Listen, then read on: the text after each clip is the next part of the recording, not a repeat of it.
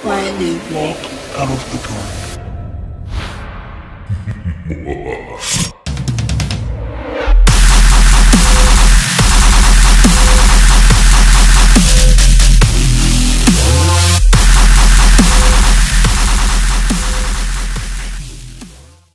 Um, it's me again, back again on another video. And um I thought I wasn't gonna make a video today, but um third attempt, I killed Vicar Amelia. Yeah.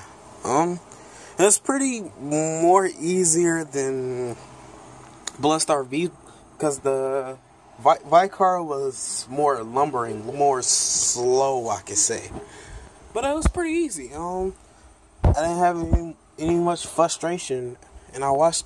I guess it was easier because I watched the video after I uh after I uh um killed the Blood-starved Beast, and I went to farm. I went to farm for like I got like sixty thousand blood echoes, and I spent that leveling up. I'm on level thirty eight or thirty nine now, and I killed the um boss, and I got this many because I had to go back. I really didn't have any close checkpoints. There's not really any close checkpoints except for him with Charlie Lang. You got to go all the way back and stuff. That's about it.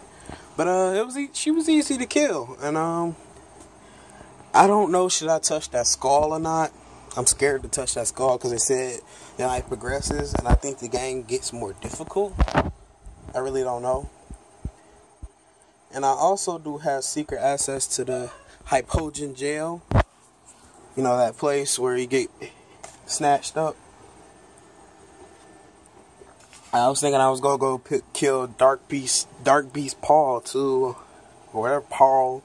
I don't know how the hell to say his name, but yeah, it's been a really good day. Um, where I'm at, it it's been dry and hot for the past couple days. Today, it finally rained. I'm pretty glad it cooled down a lot, you know, so it wouldn't be so hot. And I am upstairs, which is where my room at. You know, heat rises, so it's like, say if it was 90 degrees today, and it didn't rain, it would be like 110 up here. And then I wouldn't be able to play my PS4 because my PS4 is starting to overheat. Shout out to The Witcher 3. And, um, shout out to, um, Khalil White 64 for sh- giving me a shout out on his channel. Um, if you want to go subscribe to him, link, links in the description down below. Yeah. And, um, don't get caught slipping on the hunt, guys. Eric the Gamer 15 out.